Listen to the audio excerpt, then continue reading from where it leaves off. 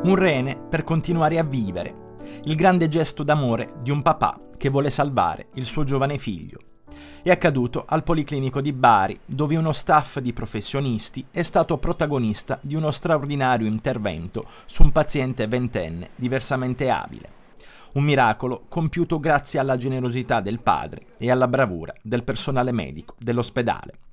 Il ragazzo, con un'insufficienza renale, affetto da deficit cognitivo associato a sordità e cecità e con una fortissima paura degli aghi, è stato sottoposto ad un delicato trapianto di rene da vivente, uno dei primi interventi di questo genere realizzati in Italia su una persona con grave disabilità. Non vede, non sente, quindi il contatto delle mani, la voce è comunque una cosa fondamentale.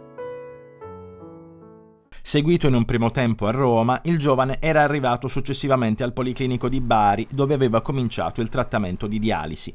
Ma proprio la sua fobia degli aghi ha reso indispensabile procedere con il trapianto.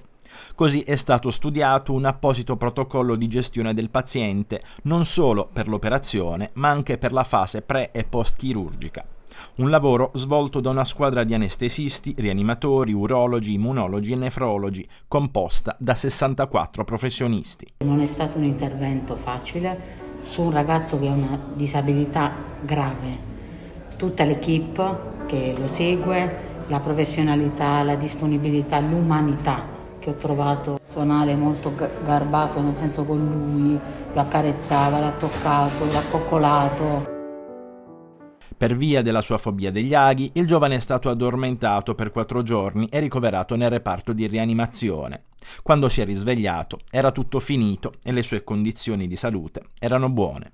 Anzi, a sorpresa, dopo l'intervento, sembra quasi aver superato la sua paura.